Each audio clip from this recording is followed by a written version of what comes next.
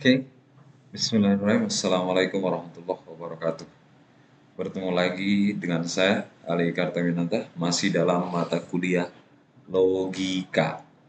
Oke, selanjutnya pada pertemuan ketiga ini kita bakal membahas mengenai materi, pemikiran, serta hubungan yang ada dalam logika. Oke, langsung aja kita masuk ke PPT ya. Oke, materi, pemikiran, serta hubungan yang ada dalam logika. Jurusan Bimbingan dan Konseling Islam Fakultas dan Dakwah 2021 ya. Next. Konten ada tiga materi, setelah itu terkait pemikiran, dan terakhir terkait hubungan. Materi logika. Dalam materi logika ada beberapa materi logika ya. Bisa menangkap, bisa mengerti, hubungan, putusan, dan terakhir kesimpulan ataupun penyimpulan. Termasuk ke yang pertama. Untuk menentukan aturan-aturan pemikiran yang tepat, logika menganalisis unsur-unsur pemikiran manusia. Apa saja unsur-unsur pemikiran manusia? Contoh ini dikasih kata contoh kalimatnya. Aku tak dapat membeli mobil itu. Mobil itu barang ma mahal atau barang itu mah mahal. Aku tidak dapat membeli mobil itu, mobil itu mahal. Oke, tentang terkait menangkap dan mengerti. Sabek menangkap apa arti aku, mobil dan membeli. Jadi dia harus bisa tahu aku yang dimaksud sini yang mana.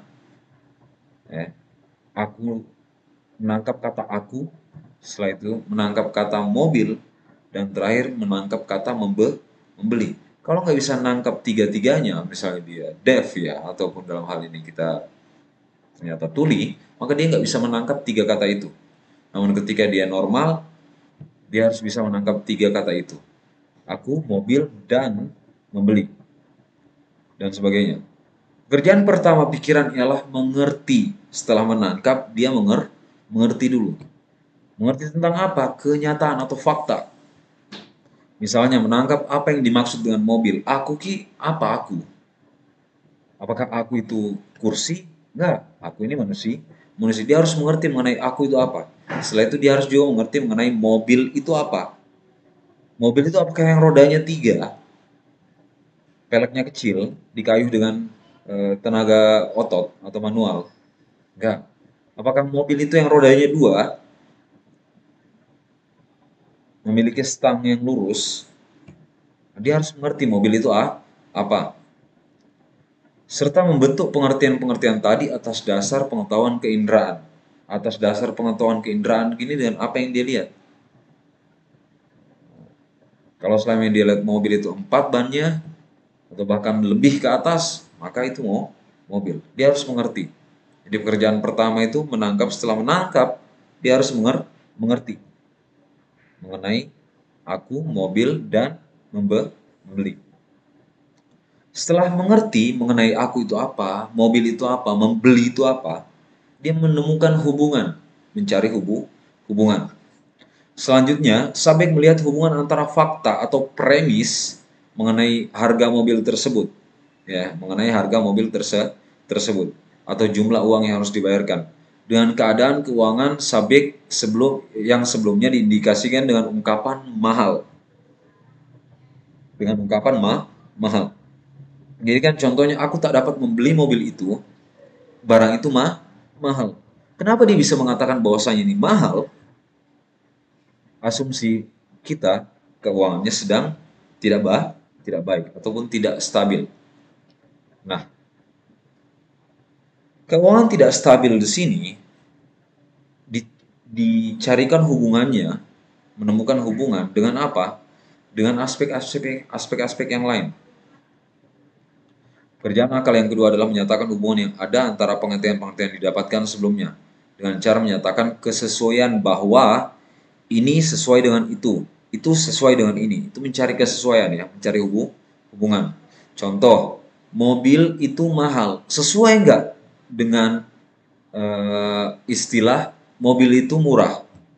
Itu nggak sesu sesuai. Sesuai dengan apa? Mobil itu mahal berarti mobil itu tidak murah.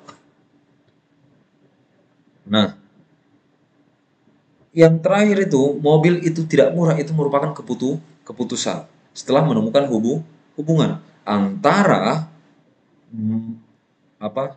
Antara tak dapat dan ma mahal. Tak dapat berarti keuangannya sedang tidak ba tidak baik.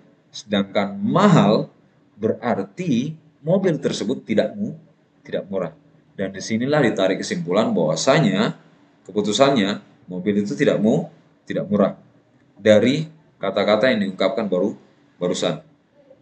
Tuh yaitu perta yang pertama jadinya setelah menangkap, dengar, baca atau lihat, setelah itu menger mengerti apa yang dia baca, apa yang didengar, apa yang dia li dia lihat, mengerti aku itu apa, mobil itu apa dan membeli itu apa, mahal pula itu apa. Ya. Tuh, setelah mengerti itu menemukan hubungan, menemukan hubung, hubungan baru bisa menarik kesimpul, kesimpulan. Kesimpulannya dalam hal ini apa? Mobil itu tidak mu, tidak murah. Mengapa? Karena kata-kata di atas lihat, kalian bisa lihat di atas ya, kursornya goyang-goyang itu. Aku tak dapat berarti tak mampu, tak mampu. Kenapa seorang itu tak mampu membeli? Karena simpelnya, asumsi simpelnya, karena keuangannya sedang tidak stabil atau mungkin sedang tidak ada uang. Nah, setelah itu barang itu mahal. Nah, seseorang itu harus mengerti mahal itu apa? Mahal itu sesuatu yang harus digapai dengan banyak uang. Nah, ungkapan mahal ini pun dikeluarkan karena di depan dia tak da, tak dapat. Berarti ditarik kesimpulan bahwasanya mobil tersebut tidak mu, tidak murah. Itu kesimpulan simpel, simpelnya. Mobil tidak murah. Next. Oke. Okay. Atas dasar beberapa pengumuman serta putusan di atas, maka Sabik menarik kesimpulan bahwa mobil yang mungkin dia pengenkan, pengenin banget itu nggak dapat dibe, dibeli. Kok bisa nggak dapat dibeli? Ya karena kata-katanya tak dapat membeli mo, mobil. Kenapa barang itu mah mahal? Pekerjaan akal yang ketiga adalah menyimpulkan, yaitu menghubungkan berbagai fakta atau premis, lalu menarik putusan dan akhirnya menghasilkan suatu kesimpul kesimpulan di sini menyimpul menyimpulkan. Pekerjaan akal ini dalam logika disebut dengan penyimpulan. Yang bekerja di sini yang menyimpulkan itu logi logika. Contoh, uh, saya tidak mengikuti UAS. Saya tidak mengikuti U, UAS. Dan ternyata tidak ada uh, remedial U, UAS. Contoh kata-kata tadi ya, saya tidak mengikuti UAS dan ternyata tidak ada remedial UAS. Apa bisa kesimpulan yang ditarik dari kata-kata tersebut? Saya tidak mengikuti UAS dan tidak ada remedial UAS. Tidak mengikuti UAS, tidak. Dia tidak mengikuti, tidak mengikuti. UAS, UAS harus dimengerti UAS ini apa? Ujian akhir semester, semester akhir dalam satu semester, enggak ada ujian lagi lain lagi setelah itu dalam satu semester dalam satu semester dan tidak ada remedial uas tidak ada remedial remedial di sini pengulang pengulangan dia harus mengerti pengulangan yang dimaksud ini adalah pengulangan u, uas nah kesimpulan yang bisa diambil apa coba silakan dipikir benar kesimpulan yang bisa diambil bahwasanya mahasiswa tersebut akan gagal dalam mata kuliah terse tersebut. Dia sudah gak? Sudah gagal. Kesimpulan yang kedua apa? Dia sudah tidak dapat mengulang kembali kembali ujian akhir semester semesternya. Itu kesimpulan yang bisa diambil. Yang melakukan penyimpulan di sini siapa? Apa? Pikiran manusia. Pikiran manusia. Selanjutnya kita masuk ke Eh, terkait pemikiran manusia. Ada beberapa pertanyaan who, siapa, why, kenapa, what, itu apa, when, itu kapan, where, di mana, which, yang mana. Which itu yang ma, yang mana. Langsung aja ya. Pemikiran atau pikiran manusia selalu berusaha mencari jawaban atas pertanyaan-pertanyaan yang muncul di pikiran manusia. Ya, selalu berusaha mencari jawaban atas pertanyaan-pertanyaan yang muncul dalam pikiran manusia. Akal tidak akan puas hanya mengetahui fakta saja. Akal itu nggak bakal puas hanya tahu fakta saja. Akal akan berusaha mencari jawaban mengenai bagaimana atau how sesuatu itu demikian adanya. Nah, bagaimana ini terkait banyak hal nantinya. Banyak banyak banyak hal terkait bagaimana atau how. Mengerti sungguh-sungguh berarti mengerti mengenai bagaimana dan mengapa sesuatu itu terjadi menjadi demikian. Ya. Ketika kamu bilang saya beneran udah paham, Pak Berarti kamu harus paham segala aspek yang ada dalam hal terse tersebut. Bagaimana, mengapa, dan masih banyak pertanyaan yang lainnya tadi di depan. Ya, contoh, dalam surat kabar sebuah eh, dalam su surat kabar memuat sebuah foto yang mengerikan. Itu pemandangan alam yang eh, alam dengan pohon-pohon yang tumbang, awan yang tebal hitam, dan pada latar belakang tampak puncak sebuah gunung api yang asapnya kelah kelabu. Jadi dalam surat kabar ada sebuah foto mengerikan ya. Pemandangan alam, pohon-pohon tumbang, awan gelap hitam, latar belakangnya puncak gunung dan e, puncak sebuah gunung api yang mengeluarkan asap kepulan A, kepulan asap kelabu. Kelabu itu abu-abu ya, grey. Next, kalau bertanya mengenai apa yang kita lihat, maka jawabannya ialah objek-objek atau barang-barang, pohon tumbang, e, gunung, awan, asap, apalagi uh, tanah dan lain sebagainya. Ketika ditanya mengenai a, apa, terus kalau bertanya mengenai uh, contoh objek yang fakta, ya fakta kalau ditanya mengenai fakta apa saja yang bisa didapat dari foto tersebut, pohon yang tumbang, awan yang tebal, puncak gunung api yang berkebulan asap dan sebagainya. Ya. Sekarang akan ditanyakan pertanyaan lebih lanjut. Apa tadi apa arti fakta yang tadi diperhatikan? yang tadi diketahui, diketahui. Selanjutnya pertanyaan selanjutnya lagi, mengapa hal tersebut bisa terjadi sedemikian rupa? Terus apa saja yang terjadi di sana? Mengapa itu bisa terjadi? Apa saja yang terjadi? Selanjutnya, apakah ada hubungan tertentu antara fakta yang dilihat dengan penyebab atau mengapa keadaan itu terjadi ta tadi? Ada hubungannya enggak? Nah, pertanyaan-pertanyaan ini bukan jelas bukan merupakan pertanyaan yang lain masih terkait dengan foto terse foto tersebut. Contoh, contoh kalian lihat wallpaper saya ini ya, wallpaper saya. Kalian lihat fakta di situ ada karang, ikan-ikan, seorang manusia menggunakan pakaian renang, membawa kamera. Nah, kalau ditanya mengenai apa fakta atau apa saja objek-objek yang dilihat, banyak hal. Terus kalau ditanya mengenai fakta, fakta apa yang bisa diambil dari e, foto tersebut? Faktanya orang tersebut berpose dalam dalam kedalaman A, kedalaman lautan. Ya. Fakta yang lain apa? Dia membawa kamera dan ditemani seorang ke teman.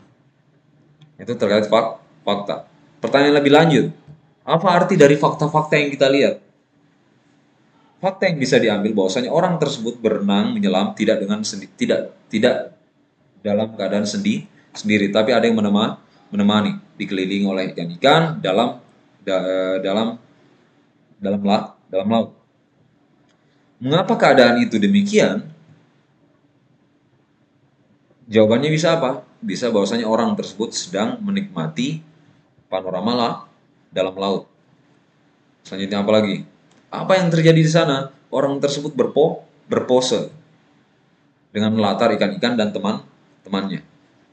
Terus, eh, apakah ada hubungan tertentu antara fakta yang dilihat tersebut? Fakta-faktanya ya. Apa hubungan tertentu yang bisa diambil dari fakta-fakta yang kita lihat dari foto ini? Hubungan tertentu yang bisa dilihat dari foto ini ialah bahwasanya orang tersebut sedang uh, menikmati pemandangan alam bawah laut bersama temannya dengan membawa dan mengamadikan dan mengabadikan momen-momen terse tersebut. Nah, kalau ditanya pertanyaan-pertanyaan ini adalah pertanyaan lain nggak? Atau masih terkait dengan foto tersebut? Ma, masih. Mengapa? Karena pertanyaan-pertanyaan tersebut berdasarkan fakta-fakta yang didapat dari foto terse tersebut. Selanjutnya mengenai hubungan. hubu, hubungan. Oke, di sana ada hubungan dalam bentuk berita, hubungan dalam bentuk sebab akibat, hubungan dalam bentuk maksud dan tujuan, hubungan dalam bentuk sesuatu yang bersyarat. Next, langsung aja. Hubungan atau premis atau fakta, hubungan antara premis dan atau fakta dapat dinyatakan dengan berbagai cara. Jadi hubungan ini ini bisa dinyatakan dengan berbagai ca cara. Antara fakta-fakta ataupun antara premis-premis banyak cara untuk mengungkapkan hubungan yang ada. Pertama dalam bentuk kalimat berita atau putusan. Contohnya ya. Hubungan antara dua hal diucapkan dengan nada positif. Ini adalah demikian atau itu adalah demikian. Ini adalah pemandangan teman-teman yang sedang menikmati panorama bawah laut atau uh, ini bukanlah merupakan kegiatan penyelamatan. Nah, itu contoh berita atau putu, putusan. Hubungan-hubungan antara fakta-fakta diungkapkan dalam bentuk beri, berita atau putusan. Contoh, pohon-pohon tumbang, gunung api tidak meletus. Pohon-pohon tumbang, pohon-pohon tumbang, gunung api tidak meletus. Tidak meletus karena apa? Karena masih ada kepulan asap. Kalau sudah tidak ada kepulan asap dan sudah ada lava yang mengalir di di mulut gunung tersebut, maka itu sudah meletus. Kalau belum ada lavanya, berarti dia gunung api tidak meletus. Ini bentuk kalimat, bentuk pernyataan hubungan dari premis-premis dengan dalam bentuk berita atau putu, putusan. Next, hubungan antara premis dalam bentuk sebab akibat. Contoh, ini seperti ini karena ini. Saya terlambat karena ban saya bo bocor. Saya terlambat karena ada yang kecelakaan di depan sa saya. Saya, ter saya terlambat karena mengantar ibu ke, pa ke pasar. Pohon-pohon tumbang karena diterjang tanah long longsor. Kausalitas sebab akibat. Kamu dapat nilai 2,5 karena tidak belajar sebelum UTS maupun U UAS. Sebab akibat. Sebabnya di belakang, akibatnya di, de di depan. Itu dengan dalam bentuk hubungan dalam bentuk sebab aki, akibat. Selanjutnya, hubungan yang dinyatakan dalam bentuk maksud atau tujuan. Ya. Ini adalah ini demikian adanya ialah untuk titik-titik. Contohnya, pohon-pohon ditebang untuk membuat jalanan.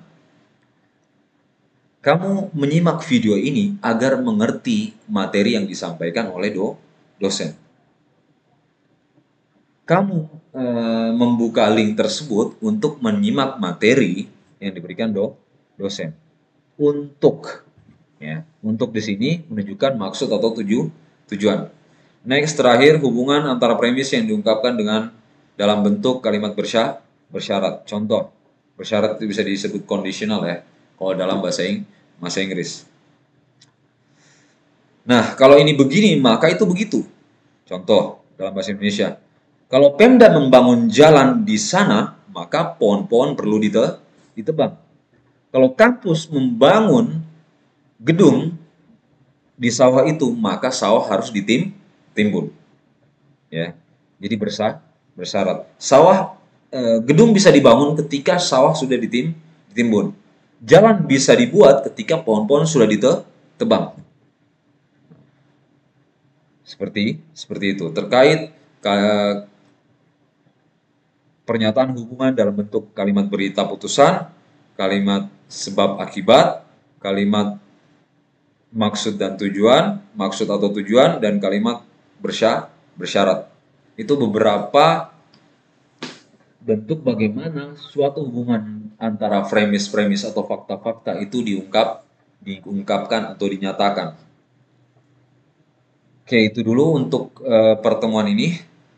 Untuk dua tema yang lain di pertemuan selanjutnya. Jika ada pertanyaan silakan ditanyakan dalam diskusi nanti. Saya harap semuanya pak paham. Itu saja yang bisa saya sampaikan. Eh, sampai bertemu di pertemuan selanjutnya. Wassalamualaikum warahmatullahi wabarakatuh. Ciao.